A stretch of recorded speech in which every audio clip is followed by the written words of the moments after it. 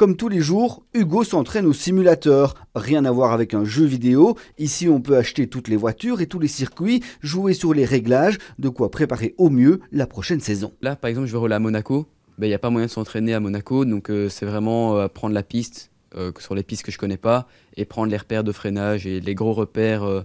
vraiment prendre les, grosses bases et pour avoir, plus qu'avoir les petits détails quand, quand on arrive là-bas et quand on roulera sur le circuit.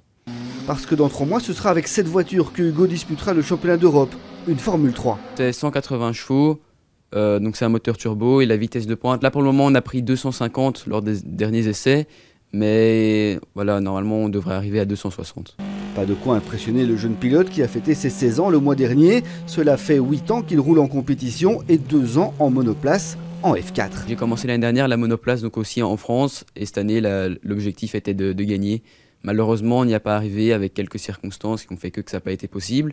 Mais je pense finir vice-champion avec 4 euh, victoires et beaucoup de podiums, c'est déjà très positif. Cette F3, il va la piloter sur 10 circuits, notamment en levée de rideau des Grands Prix de Formule 1. Formule 1 qui n'est plus très loin, la F3, ce n'est que 3 échelons en dessous. On est beaucoup à rêver de la F1, mais c'est sûr que pour le moment, c'est l'objectif est la Formule 1. On pense Formule 1, on rêve Formule 1, on dort Formule 1. Donc on va tout faire pour y arriver. Et pour mettre toutes les chances de son côté, Hugo changera même d'école en janvier, direction une école du Mans spécialisée pour les futurs pilotes. Pas de doute, Hugo de Wild y va, et il y va à fond.